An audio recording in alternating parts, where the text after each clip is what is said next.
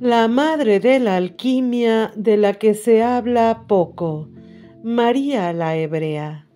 Hola, gracias por acompañarme en este video. Hay discrepancias en relación a la vida y obra de María. Algunos la centran en los siglos I y II después de Cristo, otros entre el primero y el tercer siglo.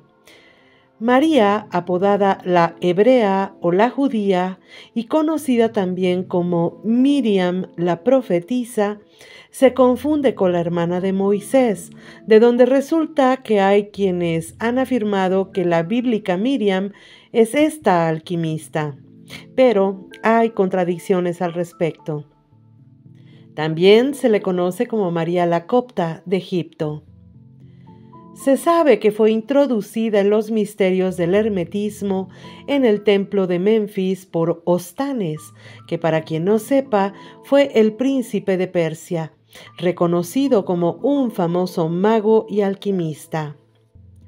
Es importante recordar que la alquimia ha estado muy ligada a la sabiduría que dejó Hermes Trismegisto y que este conocimiento está plagado de alegorías y símbolos que no siempre es sencillo descifrar. Por tanto, no siempre las interpretaciones son correctas.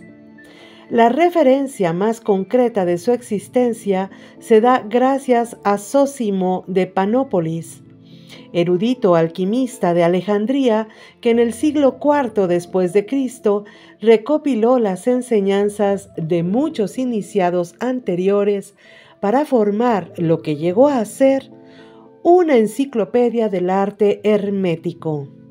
En sus escritos es en donde cita a María casi siempre en pasado, mencionándola como una de los sabios antiguos y también describe varios de sus experimentos e invenciones. María la hebrea o la judía o Miriam la profetisa es quien sienta las bases teóricas y prácticas de la alquimia occidental y por lo tanto de la química moderna. El trabajo de María es considerado como relevante en el campo de la ciencia. María, la hebrea, escribió sobre alquimia, sobre la piedra filosofal, cuyo manuscrito se conserva en la Biblioteca Nacional Francesa. Se habla también de una magia práctica. Su principal obra es extractos hechos por un filósofo cristiano anónimo, también nombrada como Diálogo de María y Aros, en donde están descritas y nombradas las operaciones que después serían la base de la alquimia la leucosis, que es el blanqueo, y la jantosis, que es el amarilleo, que una se hacía por trituración y la otra por calcinación. En esta obra se describe por primera vez el ácido de la sal marina y el oxis que se puede identificar con el ácido acético. También aparecen varias recetas para hacer oro, incluso a partir de raíces vegetales como la de la mandrágora. El querotaquis es el más importante de los inventos de María la Hebrea, un aparato de reflujo usado para calentar sustancias utilizadas en la alquimia y recoger sus vapores. Es un recipiente hermético con una lámina de cobre suspendida en su parte superior para que el aparato funcionase correctamente, todas las uniones debían estar ajustadas al vacío. El uso de tales recipientes en las artes herméticas dio lugar a la expresión sellado herméticamente. Los vapores de azufre o el condensado atacaban la aleación de metal dando un sulfuro negro conocido como negro de María, que se suponía representaba la primera etapa de la transmutación.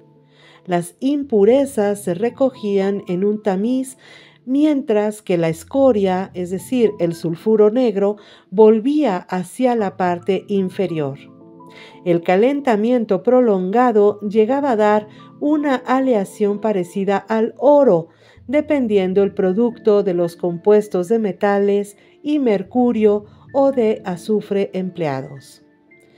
El querotaquis también se usaba para la extracción de aceites de plantas como el aceite esencial de rosas.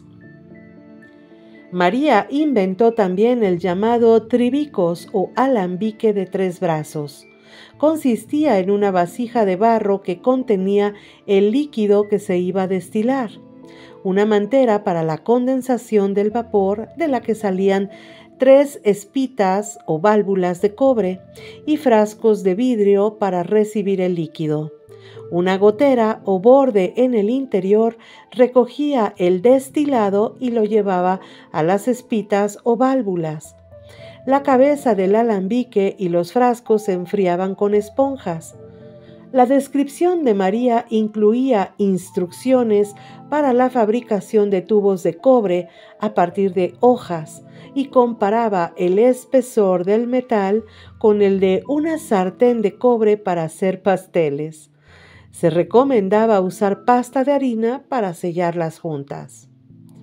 Así, podemos ver que no solo era una alquimista, sino una inventora, una mente curiosa, ávida de conocimiento que tuvo el valor y la determinación de adentrarse al conocimiento que en aquella y en cualquier época es tan selectivo. Seguramente te sonará el baño María. ¿Quién no lo ha utilizado en su cocina alguna vez? Bueno, pues es otro de los inventos y contribuciones de María la Hebrea que siguen aún vigentes. Esto es de lo poco que se puede rescatar del trabajo de esta maravillosa alquimista. Por supuesto, si hay algo del trabajo de María la Hebrea en cuanto a magia, seguramente quedó reservado para las escuelas herméticas, de donde en realidad poco se ha filtrado al conocimiento público. Pero sí se puede considerar la posibilidad de que haya sido una bruja muy prolífica, pues la alquimia es parte fundamental del saber brujeril. Tengo que resaltar que esta científica ancestral, como otras sabias de esos tiempos, ha sido víctima de un registro histórico pobre, a pesar de que abrieron paso a un conocimiento muy amplio y que pusieron los cimientos y allanaron el camino a las ciencias. Hay varias mujeres de la historia a las que les fue borrado de su registro el conocimiento de la alquimia como a la misma Cleopatra. Pero es gracias a las alquimistas de ese tiempo que podemos tener una mejor comprensión en cuanto a la contribución de la alquimia para afinar la química y otras ciencias modernas. Una mujer fascinante de la que aún queda mucho por descubrir su legado debe ser reconocido e investigado hasta llegar a lo que falte saber de ella, porque vale mucho la pena, así como rescatar a otras sabias de la historia que se mencionan como residuos de un pensamiento fragmentado y marginal. Y eso no se vale.